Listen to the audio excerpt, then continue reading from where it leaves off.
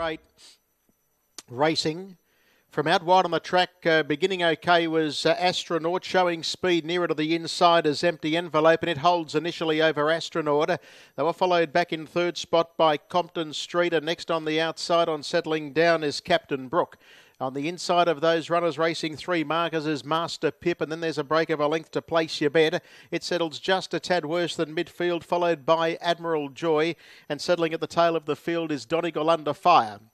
There's the best part of about six or seven over the field, and from barrier one, Empty Envelope was able to hold the lead. Sitting second is Compton Street.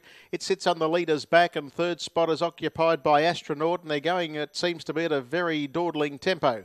Back on the inside is Master Pip, and they are being followed next of all by Captain Brook, who finds itself in a nice trailing position early in the race. One out, one back. It's tagged by Place Your Bet who in turn is being tagged well back in the field there by Admiral Joy and Donegal under fire. The last four or five horses racing one off the inside. Lead time, yep, they were dawdling all right, 53 and 8.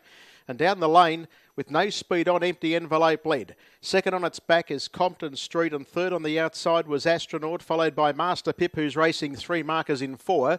Captain Brook is in the one by one trail. It's being tagged by Place Your Bet as they leave the straight. Well back in the field is Admiral Joy, and still whipping them in as Donegal under fire. First quarter, the last mile was 31.6, and as they work into the back section now, empty envelope is the pilot, and the margin's about three parts, just getting a little closer to it now on the outside is Astronaut.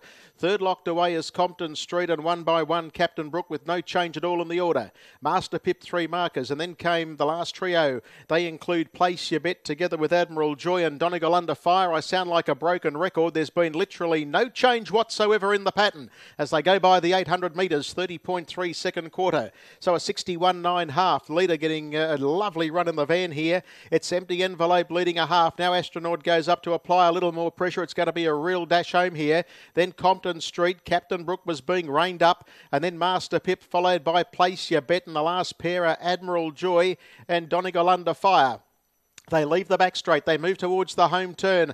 The leader still is empty envelope, only a head clear. Astronaut was trying to get on terms, 28 6 the split, but is very flat at the moment. They were followed coming to the outside of those runners by Captain Brook. Place your bet runs home, and nowhere to go. Compton Street, Master Pip. Astronaut comes out strongly after this leader, empty envelope. They go together. They were followed by Place Your Bet, who's starting to run home okay.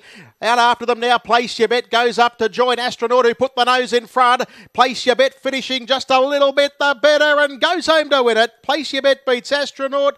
Third home in the race was Empty Envelope and flushing home for fourth Admiral Joy. Then Compton Street Master Pip. Captain Brook didn't run on, and nor did Donegal under fire. 27 3 and 2 minutes point one the rate. Place Your Bet at good odds wins it.